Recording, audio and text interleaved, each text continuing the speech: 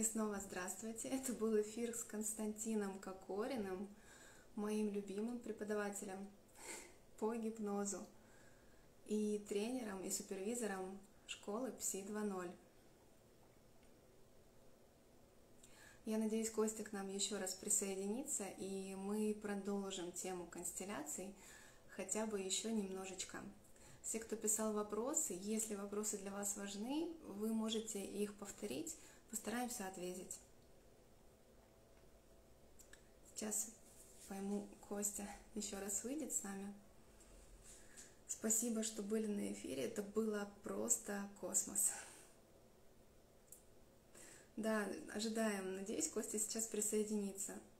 У меня еще есть час, и мы можем продолжить тему. А с вами Анастасия Гайдарова, супервизор проекта Psi Evolution 3.0, специалист восьми исследований э, в науке «Наука 2.0», специалист по регенерации твердых тканей в том исследовании, которое уже наконец-то запустилось. Да, и, конечно, куратор миллионеров в денежной игре с Евгенией Ли. Надеюсь, Костя сейчас присоединится. Да, привет. Привет всем, кто присоединяется.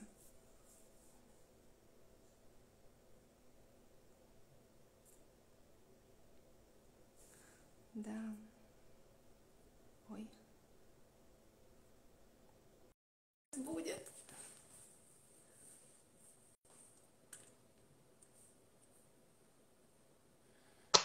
Да, нас привет еще нас оборвали. Э, я просто отвык от того, что Инстаграм обрывает эфиры. Они, ну, два часа, по-моему, у всех уже идут спокойно. Мы же два часа еще не идем. Какое-то время, но сейчас другие настройки. Понятно. Ну ладно, давай, давай продолжим. И этот момент... Э, вот здесь, здесь важный... Давай про мозжечок уже тогда ну, будем там завершать. Какие-то моменты, что я хотел еще еще. Э, ну и по, по сути, давай, наверное, цель, цель, да, определим вот этой констелляции. В каждой констелляции цель э, нам помогает понять, да, вот э, в том, что с помощью вот этой эмоциональной отрешенности найти реш... э, ну, эмоциональная отрешенность найти решение. Где-то э, масло масляное получается. Э, без не включать эмоцию в оценку происходящего, просто тупо брать и делать. Да, такой, такой... Ну, на этом уровне разве есть оценка происходящего? Здесь же я, буквально... и, я и говорю, здесь не, как раз выключить эмоциональную оценку, да, просто мне нужно сделать, мне нужно просто действие совершать, но в отличие от констелляции паренхимы, когда я об этих действиях, я буду рассуждать, каким образом, какое действие лучше сделать, еще что-то. То есть здесь я не буду обсуждать действия. Здесь это вот такой военный режим, когда просто идешь и копаешь. Да, то есть идешь, копаешь. Должно и будь что будет. Да, и вот этих эмоций нет, там, ну, в психологии такой психостеник такой, да, когда социальное становится ну, по-другому воспринимается. И не важно, что человек, что обо мне при этом будут говорить. Да, вот такой момент. Не важно, что обо мне при этом говорят. Вот это тоже... Социопатии. Есть, есть вот этот оттенок, да, такой э, именно через бегство, вот, э, ну, то есть в меня, про меня говорят гадости, что я там, ну, какой-то, а я никак. От меня эти слова отскакивают, как от стенки. Это именно и в этом и есть суть защитного механизма. Не воспринимать те стимулы, которые на меня воздействуют, чтобы пройти через это, этот опасный период. Понимаешь, в чем дело? Э, вот здесь, там, там даже написано, что ну, отступить в состояние бесчувственности, чтобы предотвратить полное истощение. Потому что если я нахожусь в такой ситуации, меня там поливают грязью, и я начинаю туда отвлекать свое внимание, я не могу ну, какой-то работой заниматься. Вот, вот это цель констелляции Мужичковой. А, ты сейчас сказал очень важную вещь про то, чтобы ну, защитить то, что есть. Опять же, наложить такой саркофаг и законсервировать какую-то ситуацию, и для этого тоже. И это отбрасывает меня к одному из исследований, в котором мы с гипотезой немножечко в тупике сейчас, где как испытуемые подопытные, как назвать, те, кто принимает участие в исследовании. Инвентарь. Да, любимые люди, которые согласились помочь науке. Вот заявляется одно, есть желание выйти из э, диагноза.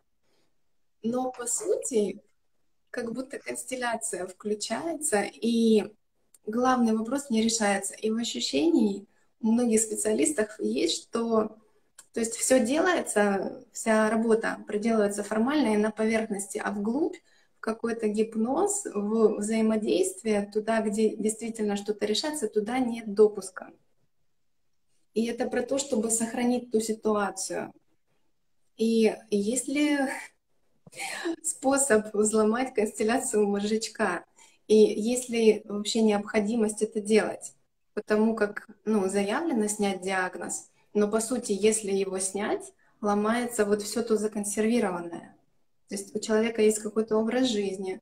Ну, если взять совсем такой социопатический вариант, то человек привык, допустим, бомжевать. Это уже неправильное исследование. Да? И здесь как раз все меняется. Э, ну, вопрос ты же задаешь, они такие очень глобальные, философские, нужно ли там помогать там или еще что-то, да. Э, моя позиция такая, что если это касается родных, мы надавить, конечно же, не можем, ну, в том плане, что как только мы э, создаем дискомфорт, и неважно в каком виде, да, там, родным, они начинают от нас защищаться, а любая защита не приведет к решению, да, то есть любая защита будет усиливать ту симптоматику, которая есть.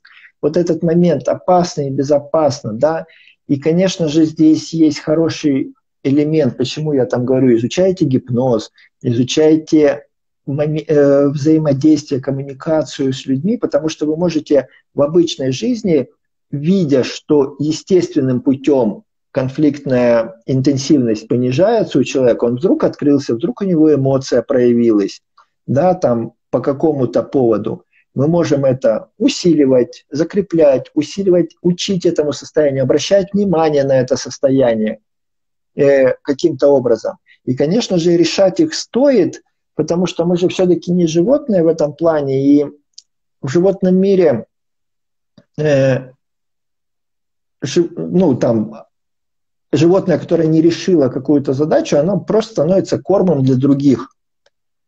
А мы все-таки, ну, про человека, про родных мы же не хотим скармливать, да, там своих родных другим. Мы понимаем, что эта социализация тоже во многом зависит и от, наш, от, нашего, от нашей коммуникации.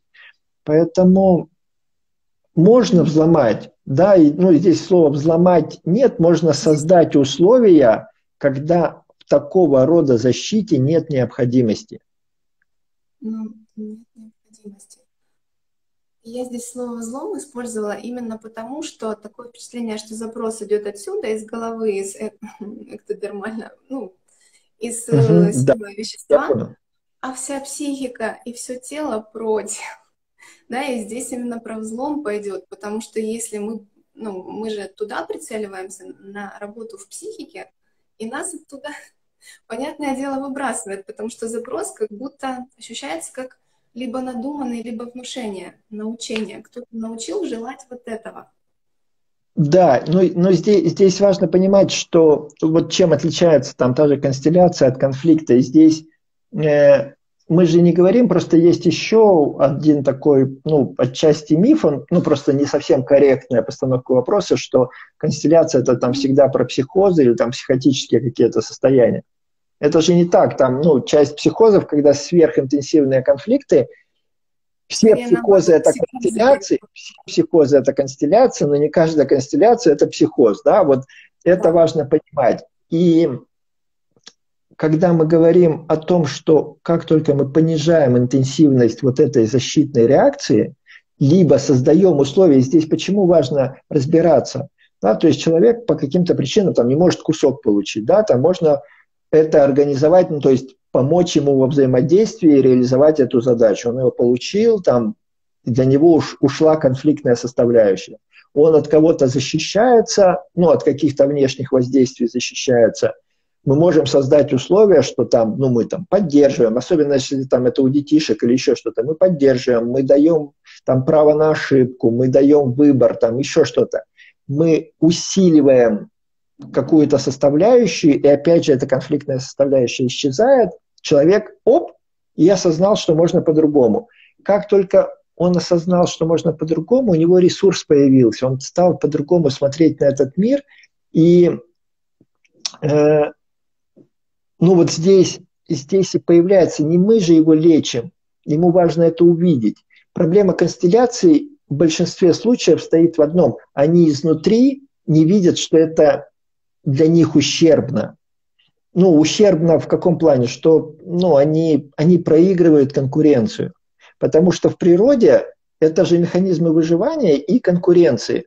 Да, если мы там будем сейчас там про территориальные зоны будем говорить, там вопрос именно ну, иерархии такой социальной будет устанавливаться. Поэтому, конечно, я считаю, что да, условия давать где-то физические возможности развивать, где-то показывать, где-то внушение, где-то вот эта коммуникация. Я почему говорю о внушениях так, ну и всех призываю, конечно, гипноз изучать во всех его проявлениях.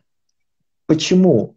Потому что вот если просто ходить к терапевту, то мы придем, и человек вот с такой, допустим, задачей, он будет там защищаться. Да, все нормально у меня, все хорошо у меня, да, вообще, особенно бывает там с подростками работаешь, как там с мамой, да, все хорошо, да, все хорошо.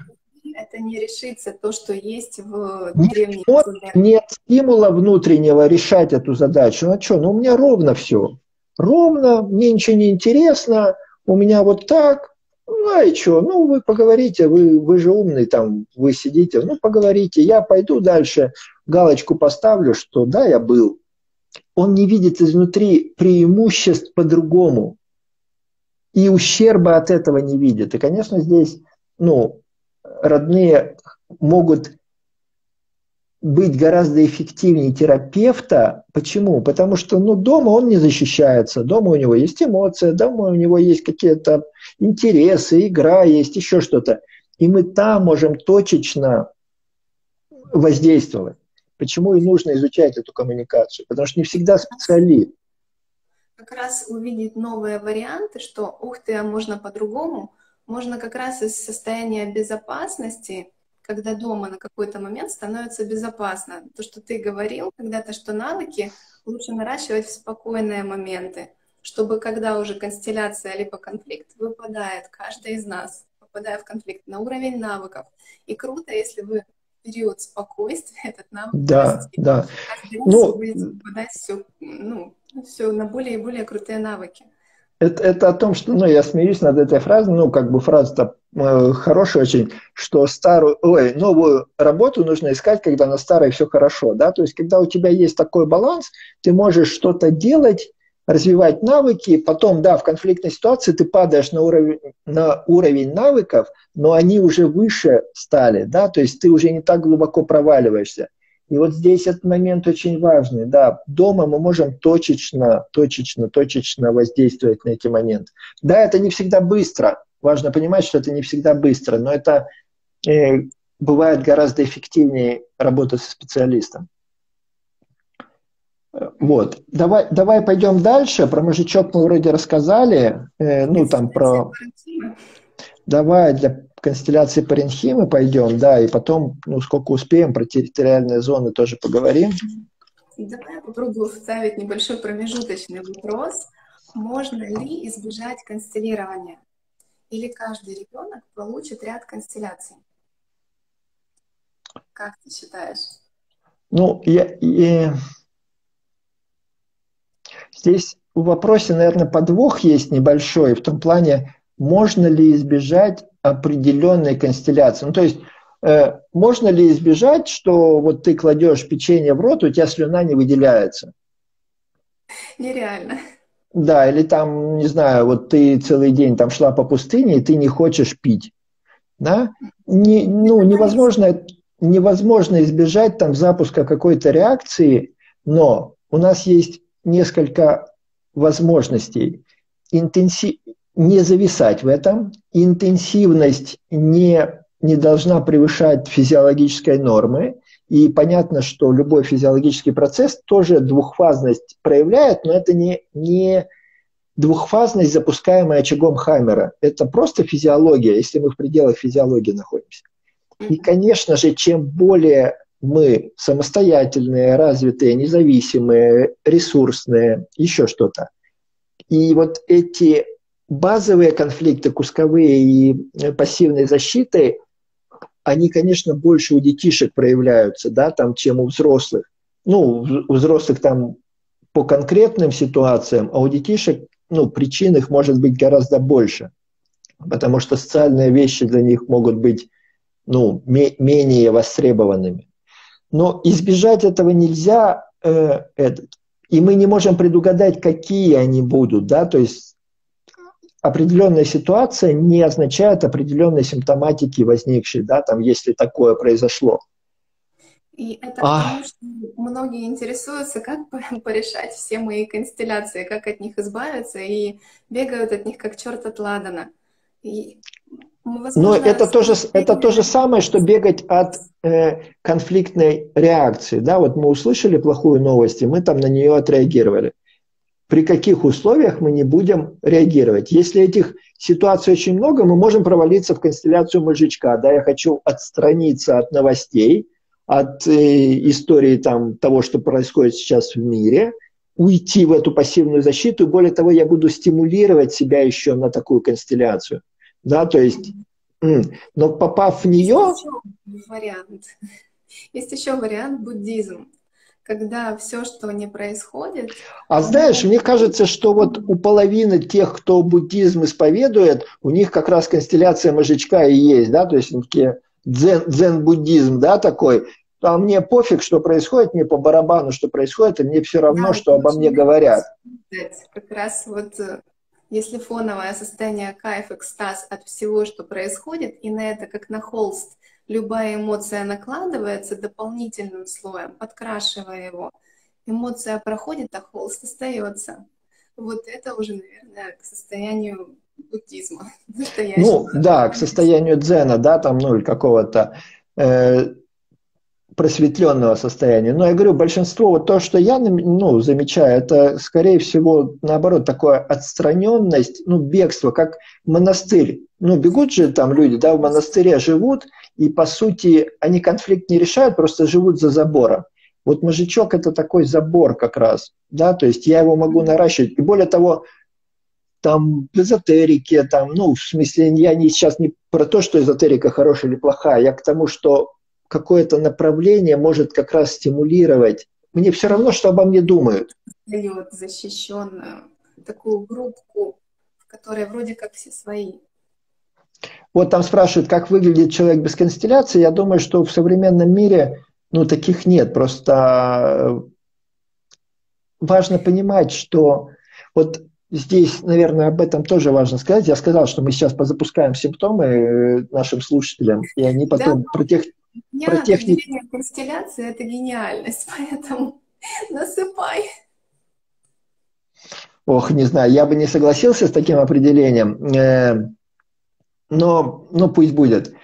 Э, смотри, просто, во-первых,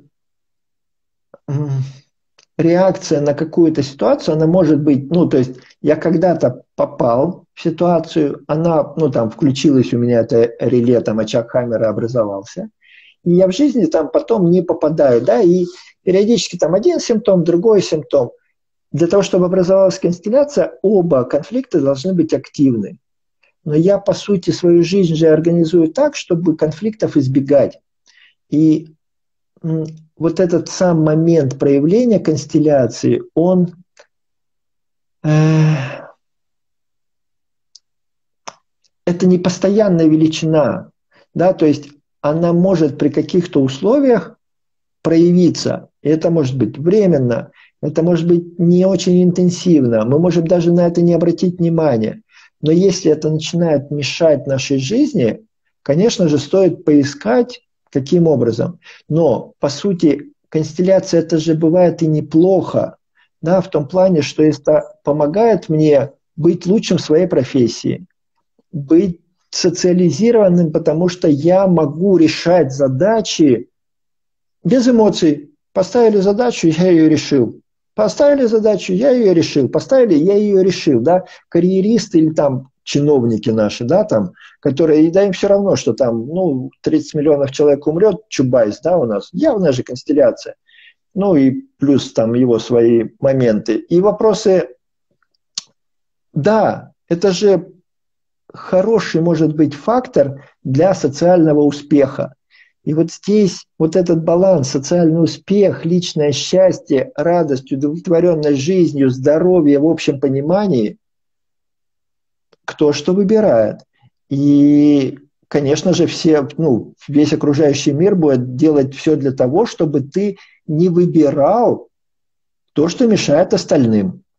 Потому что все, ну, э, цель психодинамики – съесть соседа. Я в пару вступаю для того, чтобы у меня еда была под боком, да, ну, потому что время голодное наступит, я съем кого-нибудь.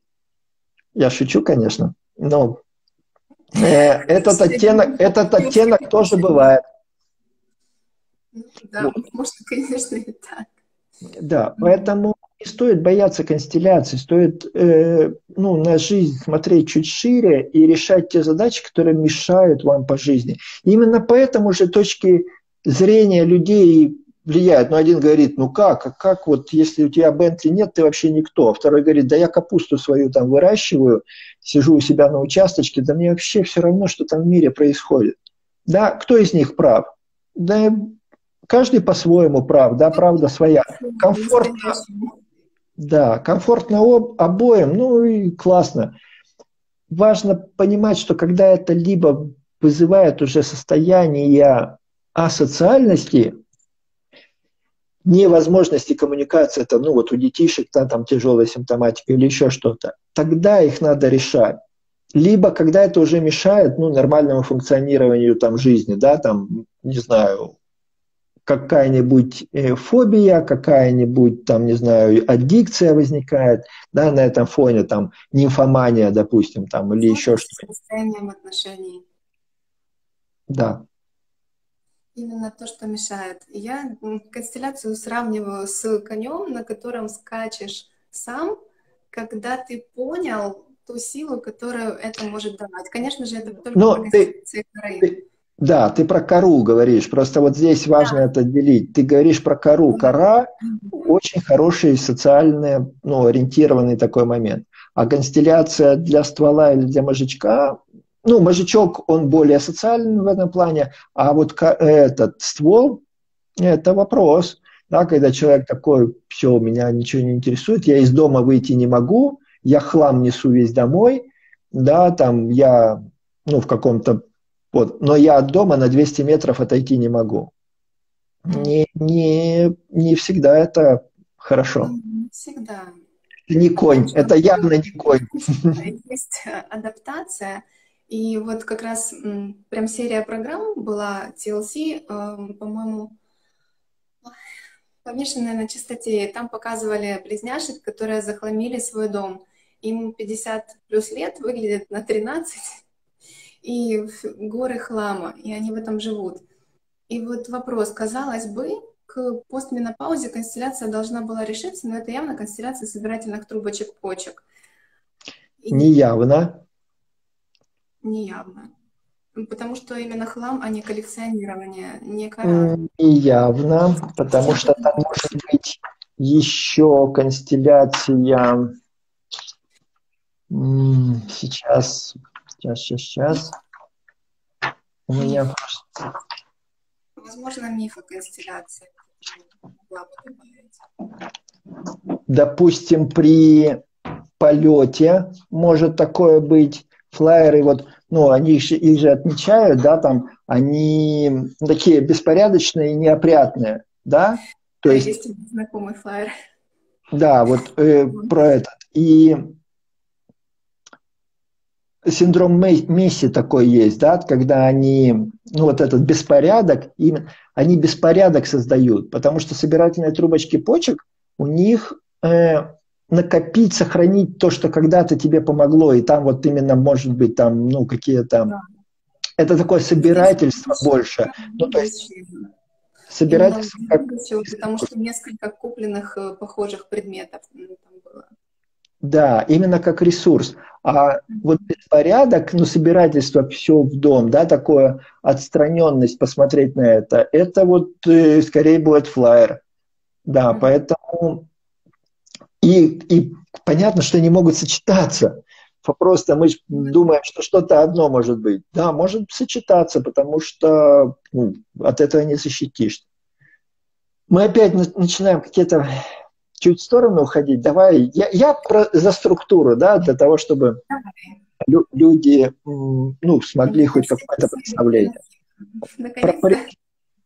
Про, про, да, про паренхиму. Давай попробуем поговорить. Э, смотри, что, что может характеризовать констелляции Паренхимы, да, там, ну вот есть этот термин там мания величия, на самом деле в психиатрии это бред величия, да, мания величия нет.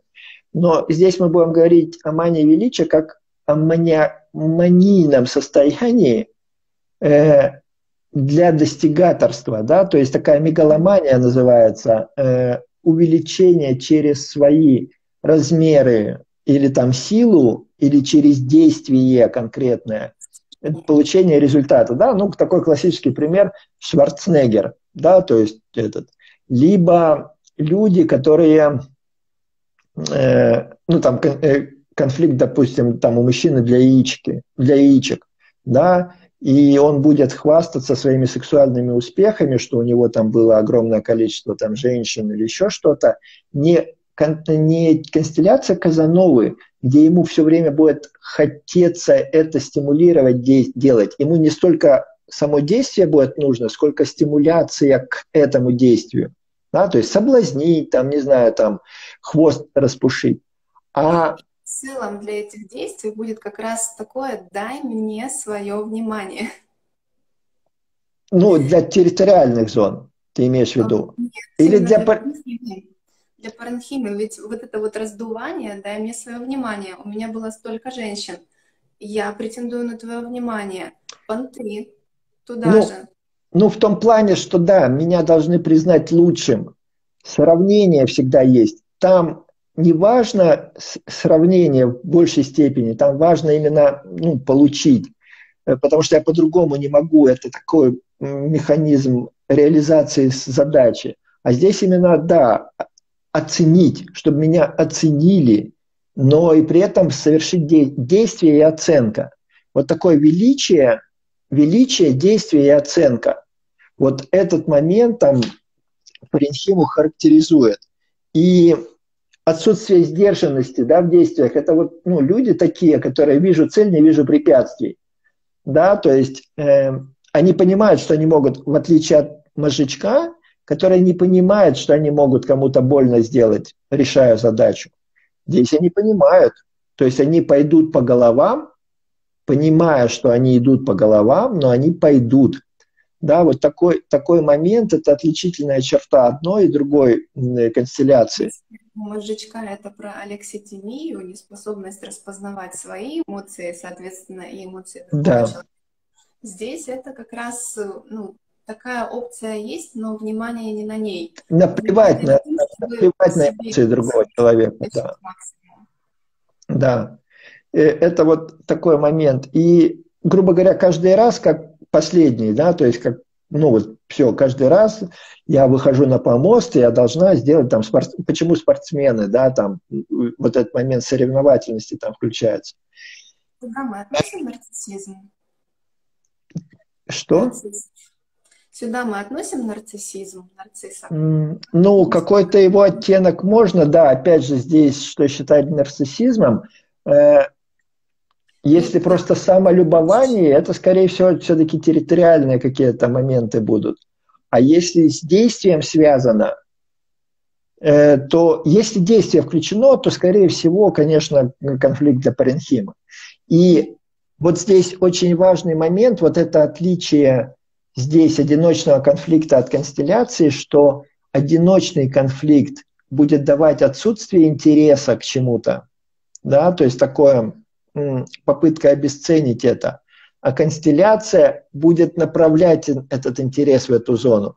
То есть вот эти клиенты, если мы там говорим про терапевти, э, терапевтические оттенки, они будут все время крутиться вокруг вот этого своего достигательства. Неважно, это деньги, это там успех какой-то социальный, это спорт, это там, ну, еще какие-то достижения. Они будут говорить только в, эту, ну, в этой зоне конфликтной. Это вот, ну, прям такой показатель. Если мозжечок, наоборот, он эту зону конфликтную вообще не видит, то здесь он только ее видит. Вот это очень важный момент. Ну и чем сильнее констелляция, тем уже эта зона. Э, мотивация делать, да, здесь такая, ну вот нужно что-то делать, нужно делать, да, вот именно через действие такое. Одержимости разного рода, да, здесь возникает одержимость там идеей, там захватить мир, не привлекая сани- внимания санитаров, там еще что-нибудь, это вот сюда. И... Контроль? Чего? Нет, сюда же еще контроль домашние тиранчики и такие сокер-мам. А, мама, которая водит своего ребенка по всем подряд тренировкам. Опять же, для того, чтобы дочь достигла каких-то там успехов, которых она вот балериной не стала. Скажем. Ну, смотри, я бы так э, не совсем, наверное, корректно. Опять же, если у ребенка есть констелляция в этой зоне, то он сам будет туда стремиться идти. Нет, сейчас она про маму. А, да, да, да, да, в, в этом плане да. Вот. И э, виды спорта, они могут как раз показывать там, ну, иногда такое тоже можно использовать там, э, конфликты там для плеч, да, там. И что я буду там? Я буду хотеть двигать этой зоной, там, пойду в плавание какое-нибудь, да, конфликты там, не знаю, для ног, для там беспокойные ноги, да, там то, что называется, по сути, что же констелляция, но я там бегаю, и я реализую двигательную вот эту мотивацию свою там в каком-то виде спорта. Да, там я бегаю, я там на лыжах катаюсь, я плаваю, я там прыгаю, еще что-нибудь. Вот эту То, зону... сублимацией. Потому да, что да, не выделяется да. много, привязать динамо-машину к ноге и поставить на службу человечеству. Да, им, именно так, именно сублимация такая, ну, в, в психологическом плане, это как раз про вот это. И что-то еще я выписывал. Да, ну характерные моменты, что действие присутствует, мания присутствует, об этом говорят. И вот такие ну, моменты там праведного гнева, да, то есть, ну, ты, там есть эмоция всегда, что, что там нужно, нужно вот эти моменты делать. И важное отличие констелляции для паренхимы, она не завершается после конфликтолиза. То есть в фазе восстановления констелляция продолжает быть активной. Человек меняется немножко эмоциональная составляющая, здесь ну, такой страх ну, или напряжение, а здесь удовольствие и ну, кайфушка такая от получения да, в фазе восстановления. Но после конфликтолиза действие констелляции не прекращается. А вот э, для других констелляций после конфликтолиза действие констелляции прекращается. То есть если один конфликт решен или не активен в данный момент, констелляции не будет. А вот здесь она будет все равно. Даже если, ну, если она образовалась, то она образовалась и достаточно долго может быть. И на всю жизнь. Единственное, что может измениться, я так понимаю, только отношение к своему достижению. Что вот, вот мой пик, и я им буду дальше гордиться. Да, ну и такое удовольствие, я продолжаю заниматься этим видом спорта, но уже из... Э, то есть я пика достиг, конфликт решил, конфликтолиз наступил, конфликт не завер... ну, в смысле, программа не завершилась. Э, завершение конфликта не означает завершение программы, да, и здесь я продолжаю заниматься этим видом спорта, я не пытаюсь там добиться этих уже успехов, но я все равно прикладываю тогда свое внимание. Я не могу бросить этот вид спорта там или ну, что-то такое. Э, это вот такая отличительная черта. Если мы говорим о каких-то ну, так, планах, там же может быть, вот, ну, я говорил, там, яички или там э, яичники, да, то есть э, такая мезодермальная составляющая репродуктивной сферы, в отличие от территориальных моментов, да, где эти конфликты не, не включены, то... Там, где конфликта утраты. Да, это, ну, там утраты, потери, там самообесценивание какого-то, то там я буду этим заниматься, я буду пытаться там оплодотворить всех самок вокруг, а самка будет пытаться восполнить эту утрату, там, рожать, там, ну, еще, еще какие-то моменты. И чем больше, тем больше она будет этим гордиться. Да, это сейчас не и безоценочный момент, это просто описание, э, как, как мозг будет при этом думать. Это вот что касается паренхимы, и там действие всегда есть. Не просто мысли, не просто витание в облаках или не просто там, ну, такой получил и все успокоился. А мне нужно делать, повторять действия, все мысли будут крутиться вокруг этого. При этом, а, при том, что есть действие, а как там в чувствах? У меня сложилось такое впечатление, как будто вместо чувств там контроль. И самое лучшее чувство для этих людей это знание и контроль. И знание, как контролировать. Э, ну, наверное, все-таки, ну, контроль в плане оценка, достиг я или нет. Да, то есть все время вот этот анализ до, до планки, до уровня я добиваю, ну, получил я этот уровень или не достиг еще. То есть первое место у меня или все-таки оно второе. Вот этот момент и в плане контроля, я думаю, что да, ну, вот на него стоит смотреть там.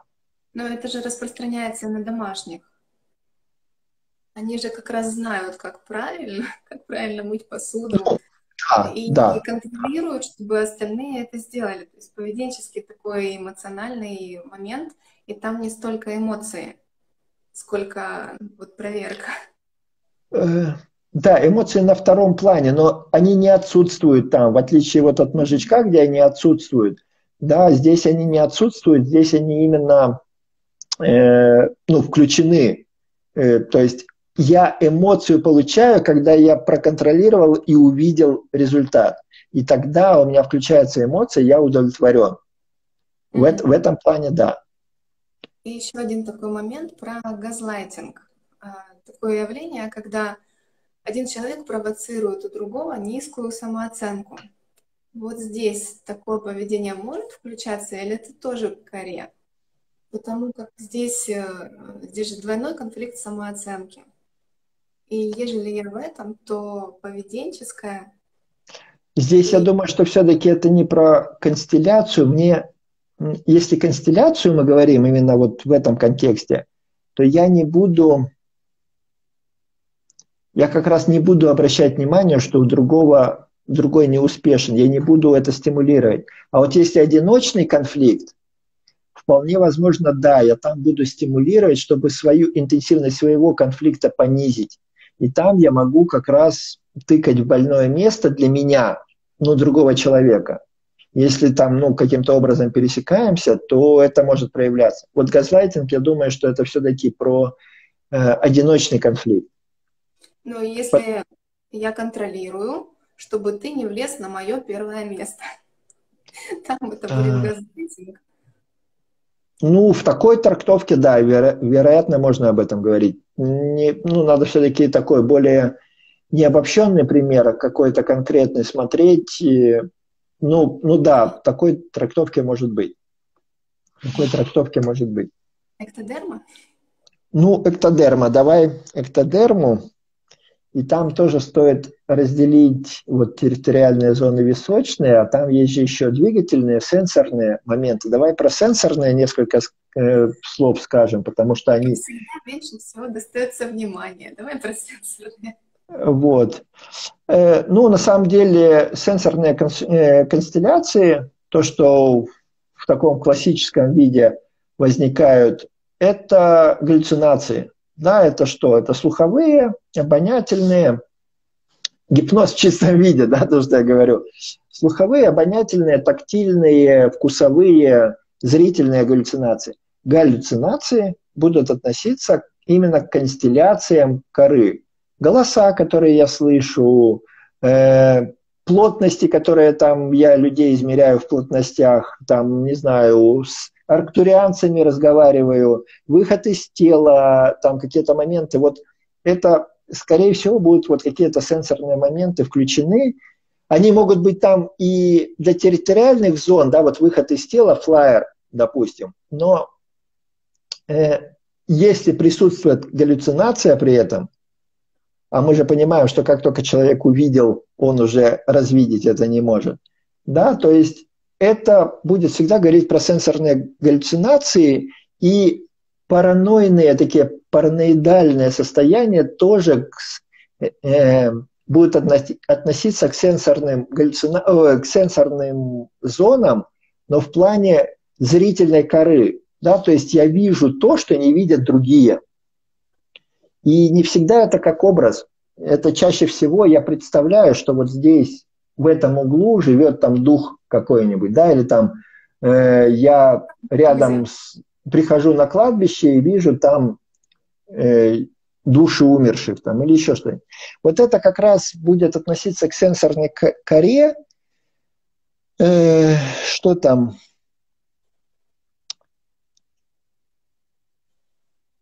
чаще всего, чаще всего это такой, там два, два момента. Либо такой надвигающийся страх, от которого я, который я не могу увидеть, и, ну, если там э, зрительные моменты мы включаем, да, э, я не могу увидеть, но вокруг опасность. И второй момент – это конфликты разделения, когда э, я очень хочу почувствовать, у меня не получается. Допустим, там, не знаю, у женщины умер супруг, она ложится там, ну, в постель свою, в, которой она спала с там, супругом, и она чувствует его объятия, да, тактильная галлюцинация, которая возникает, именно такой двойной конфликт разделения. Или там мужчина в аварии потерял там супругу и ребенка, или, допустим, развелись они, не потерял он. Э, развелись, и и супругу потерял, и ребенок стал жить с мамой, он его не видит. Двойной конфликт разделения,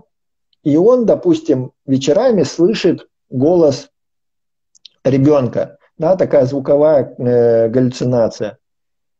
И это вот прям, ну, галлюцинация, это прям характерная такая э, сторона именно сенсорных констелляций, потому что если одиночные моменты, вот там важно понимать, что одиночный конфликт для сенсорики будет давать временное понижение функции. Да? То есть я хуже слышу, я там что-то не чувствую, нечувствителен стал там тактильно, я э, запахи, да, вот в наше время это популярный запрос, запахи у меня там, я хуже чувствую.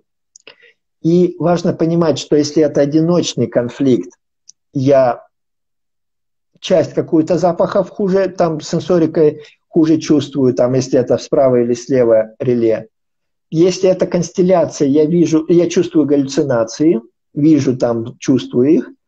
А если один из конфликтов завершился, а один остался активным, то э, будет такое общее выпадение функции. Да? То есть я с одной стороны, не слышу, потому что там активный конфликт, допустим, правым ухом я не могу там э, что-то услышать, а в левом ухе у меня будет выпадение слуха за счет отека в реле. Отек в реле тоже дает временное понижение функций. Поэтому там важно, важно вот оценивать эти моменты, потому что очень часто путают там э, тинитус, там, не знаю, какие-то обонятельные галлюцинации, еще что-то важно очень смотреть, как происходит. Происходит ли для одной зоны, происходит ли для двух, и есть ли галлюцинация, там возникает ли какая-то так, такого рода симптоматика. Потому что мы не можем сказать, ну, без очагов Хаммера, да, без снимка КТ, не можем сказать, где. И это вот, ну, галлюцинация, это, наверное, ну, явный признак именно э, констелляции для сенсорной коры. если кто-то вот, ну, увлекается этими моментами, мы же понимаем, что их можно стимулировать, да, то есть это препараты, это э, сознательная активация этой зоны, то есть тренировка, там, не знаю, я вхожу в это измененное состояние сознания для того, чтобы получить эту галлюцинацию. По сути, мы просто очаг, якорим ее на что-то, и очаг этот возбуждается, ой, с помощью именно якоря, да, обстановка, ритуал, там, продукты, человек, э, слова, слово закодированное. Это важно понимать. Но как только галлюцинации возникают, это констелляция для сенсорной коры. Это ну, признак ее. Это не хорошо не плохо, я сейчас не к тому, чтобы там, ну, люди там начали опять бояться там каких-то своих экспериментов э, духовных, но важно понимать, что это, ну, вот такое состояние. Можно сказать, что синестезия, состояние, когда звуки различаются, например, как цвета или как запахи, это тоже констелляция сенсорной коры. Это констелляция сенсорной коры, скорее всего, в сочетании с территориальными зонами. То есть я свое тело воспринимаю достаточно независимым от себя, и при этом синестезия у меня есть. Да, там полная или неполная, ну там частичная, но это сочетание двух констелляций, поскольку зоны там будут где-то пересекаться, скорее всего, ну, я думаю, что это и для сенсорной, и для территориальных зон будет. Более того, территориальные зоны же, они, ну, мы сейчас знаем чуть больше, чем Хаммер знал. Э, мы же понимаем, что это такие полевые процессы, э, ну, полевые в каком плане? Поле создается, да, то есть один очаг, мы его активируем своими действиями, и генерализация такая происходит поле возникает, да, и вот это может тоже включать эти очаги, и состояние может нарастать, да, то есть человек, почему я чем больше практикую, тем лучше я вижу там духов, ну, потому что. Навык, который нарабатывается. Да, это, ну, просто, просто важно понимать, что это именно вот, ну, такое, ну, такое состояние констелляции коры можно считать эм, эволюционным достижением?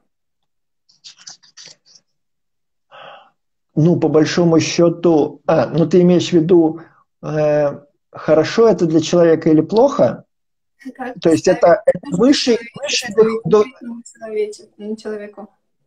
И я тебя прослушал. Мы вместе говорим, я тебя не слышу. Как поставить на службу человечеству и конкретному человеку в этом плане? ну, э, на службу человечеству, если есть какой-то кукловод, он, конечно, может это стимулировать и этих людей отбирать, и стимулировать. По... в древней мезодерме, максимум в новой мезодерме, констеллированных таким отбирать, но не в эктодерме. Почему? Он как, как, раз, как раз в эктодерме, потому что там очень сильный сознательный элемент – э, включен, и вторая сигнальная система, прям э, нас опять сейчас скоро уже отключат, мы с тобой не дошли и, и до середины. Э, но я уже не смогу продолжать, к сожалению, дальше. Э, вопрос такой. Я думаю, что как раз именно территориальные зоны можно ну, ставить человека в определенные условия и стимулировать для того, чтобы человек вот территориальная зона – это такая социальная иерархия. И в плане управления, конечно, их легче, ну, их легче стимулировать. А в плане эволюционного развития констеллированный человек, конечно же, ограничен. Но опять, вот мы же там, ну, ты снова гене... Да. И мания, и депрессия, и пока человек находится в депрессии, в подавленном состоянии, в бездействии, в состоянии, да, это не обязательно прям депрессивное состояние, это минимум действия. Но как только мания, это как раз возможность через поведение выйти, когда, ну, возможно, чуть компульсивное действие, но вынесут совсем к новым результатам, к новым горизонтам. И если констелляция тогда выключится, человек увидит, ух ты, как я умею. Рискованно вот здесь... таких рабов заводить, которых на мании, ну вот в этой констелляции, может вынести туда? Здесь есть два аспекта. Здесь есть два аспекта. То есть констеллированный человек не видит в этом проблемы. Да, то есть, когда два конфликта активны, э, я считаю, что вот этот туннель – это единственный способ решить эту задачу, и я все внимание туда прикладываю. И с точки зрения внешнего воздействия мы можем эту ситуацию какой-то, ну, там, с какими-то целями усиливать. Во-первых, констелляция коры, чем хороша, не, не растут, э, не растет масса конфликта, человек в этой констелляции может жить, ну, всю свою жизнь, да, там. А более того, если там это постморталка, он разрешил ее, там, если это было до, очень долго, да, там, и не пережил э, эпикризис. Это первый момент. А второй момент, Э, ты все-таки, наверное, говоришь о одиночном конфликте и стоит ли его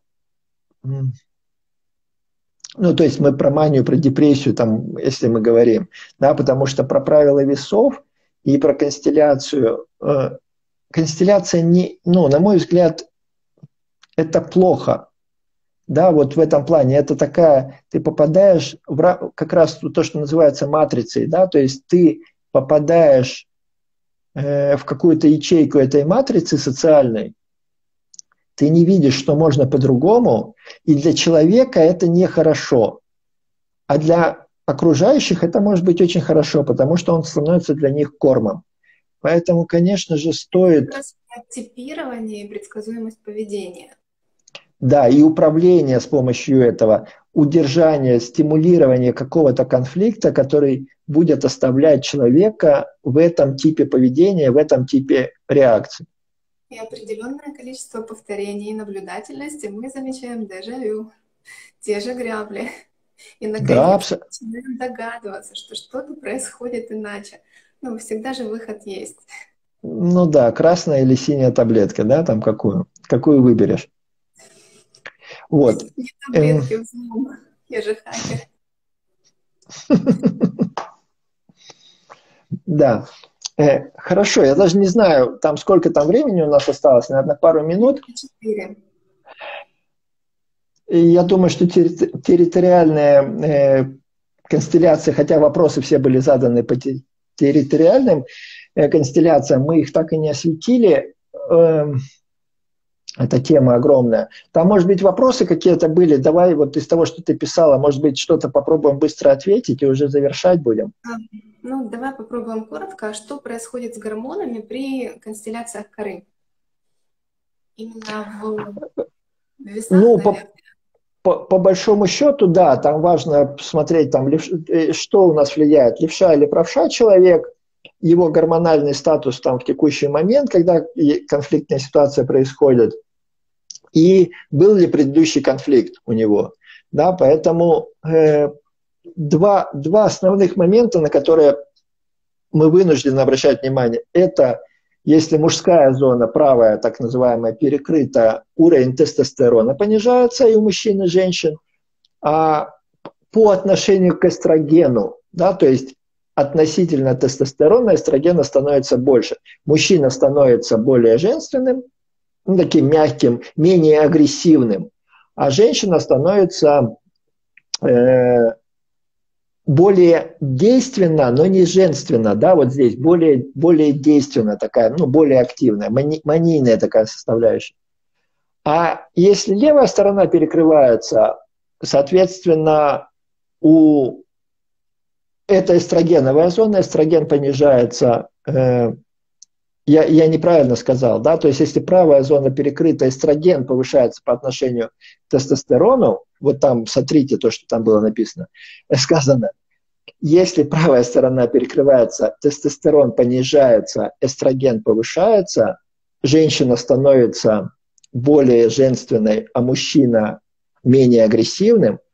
Если левая сторона перекрывается, то, соответственно, мужчина становится более агрессивным, такое расширение, а женщина просто динамит, ну, то есть такое динамичное состояние проявляется. Но здесь важно левша или правша. Почему? Потому что первый или второй конфликт бьет в разные стороны. У мужчины правши, он мужчина правша и женщина левша считаются, ой, мужчина правша и женщина правша считаются условно нормальными. То есть мужской, мужчина правша первый конфликт получает мужскую зону, женщина правша первый конфликт получает территориальный в женскую зону.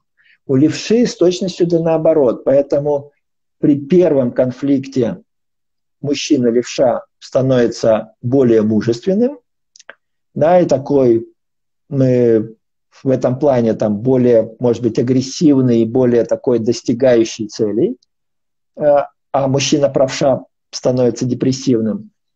А у женщин женщина-левша становится более женственная, но при этом немножко депрессивной. То есть она свою женственность, вот эту девочковость и девочковость, не знаю, как сказать, женственность, да, проявляет пассивным образом. Она становится, ну, там, плавная, мягкая, еще более, да, там, девочка-девочка такая, но при этом не проявляет активность.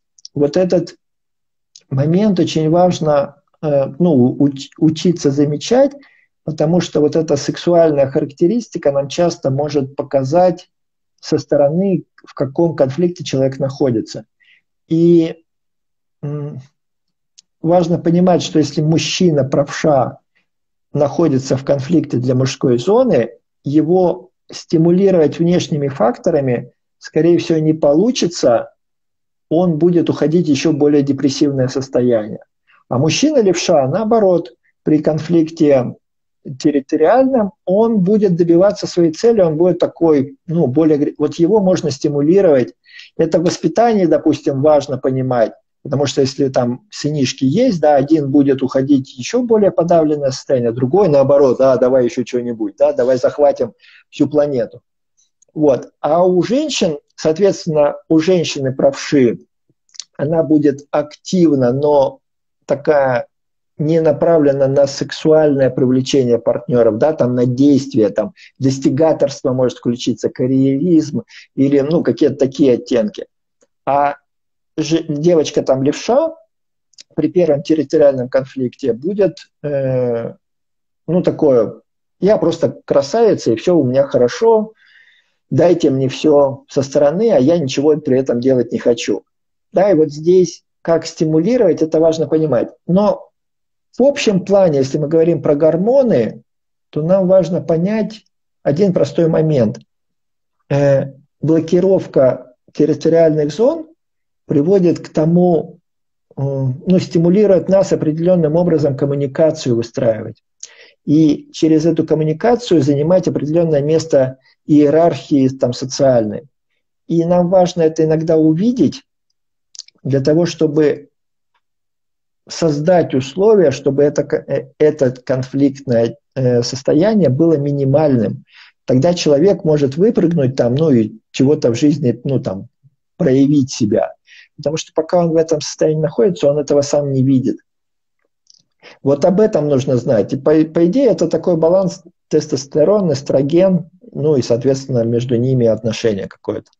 Как в этом вписывается адреналин, норадреналин? А, это не в этом, наверное, вписывается, а попутные какие-то задачи, которые возникают. То есть я оказываюсь в ситуации, когда я должен вы, загнан в угол обстоятельствами, и у меня могут там включиться, допустим, надпочечники, и там будет адреналин, и норадреналин или кортизол, допустим, да, то есть там кора или паренхима да, и это все-таки не к территориальным зонам, это к ситуации. Обстоятельства, которые меня загоняют, будут менять гормональный фон, потому что эстроген же может повыситься и за счет конфликта утраты, ну, то есть сначала некроз яичника, да, активная фаза конфликта, потом киста яичника, эстроген повышенный, не относится к территориальным зонам. Поэтому по сути, конфликт территориальных зон э, влияет только на одно. Я смотрю на мир по-мужски или по-женски. ну, такое, из пассивной, э, с пассивной составляющей или с активной отключают. Да, спасибо огромное, Костя, за то, что согласился прийти и поучаствовать. Константин Кокорин, огромная благодарность. Все,